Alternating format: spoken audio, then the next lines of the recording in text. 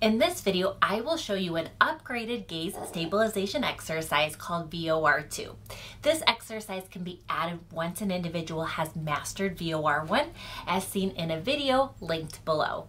The purpose of this exercise is to improve the coordination between the eyes, inner ear, and brain through improving the vestibulo-ocular reflex.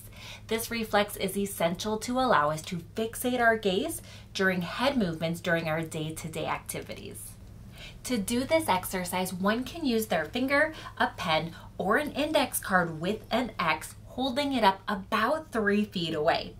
From here, keep the eyes fixed on the target while moving it side to side.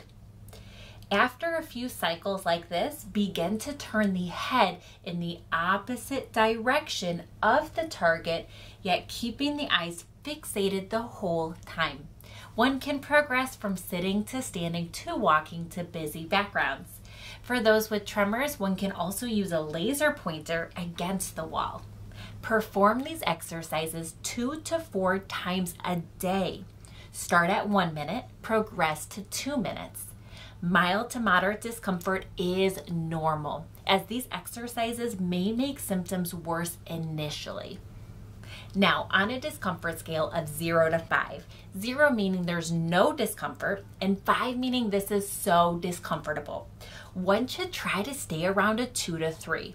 Therefore, if you're doing the exercises and there's no discomfort at all, we either need to increase the speed or change the position, such as from going from sitting to standing.